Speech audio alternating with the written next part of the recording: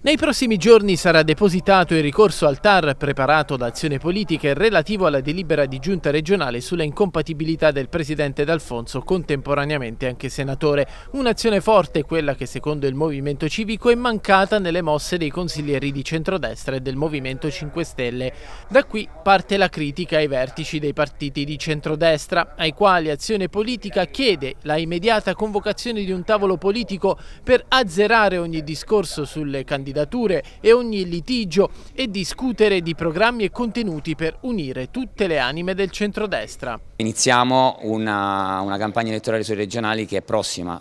ripartendo anche lì dalla grande incompatibilità di D'Alfonso, facendo un'azione giudiziaria noi da oggi, perché vediamo che comunque la parte dell'opposizione regionale, sia del centrodestra ma soprattutto anche dei 5 Stelle che strillano, strillano, poi però quando si tratta di fare i fatti continuano a essere latitanti, quindi inizieremo noi con un gesto insomma, direttamente fatto da noi anche sull'incompatibilità di D'Alfonso. E a proposito di candidature e unità del centrodestra, brucia ancora la sconfitta elettorale subita da Morra a Teramo. Azione politica non ci sta ad essere il capro espiatorio della sconfitta elettorale. Il movimento civico guidato da Gianluca Zelli aveva appoggiato la candidatura di Mauro Di Dalmazio e nel ballottaggio non ha raggiunto l'accordo con la restante parte del centrodestra lasciando mano libera agli elettori. La mossa da molti, in primis dagli esponenti del centrodestra teramano, è stata letta come la volontà di giocare giocare al tanto peggio tanto meglio ed oggi Zelli spiega le ragioni del mancato accordo di apparentamento, ragioni che arrivano da lontano, dall'inizio della campagna elettorale,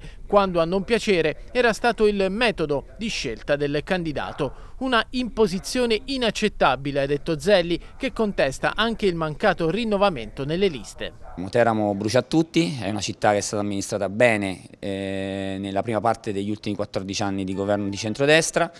Serviva un cambiamento, noi abbiamo provato a darlo eh, con un messaggio forte che è stato quello chiaramente di mettere candidati che non, mai, che non avevano mai fatto parte delle giunte precedenti, non siamo stati ascoltati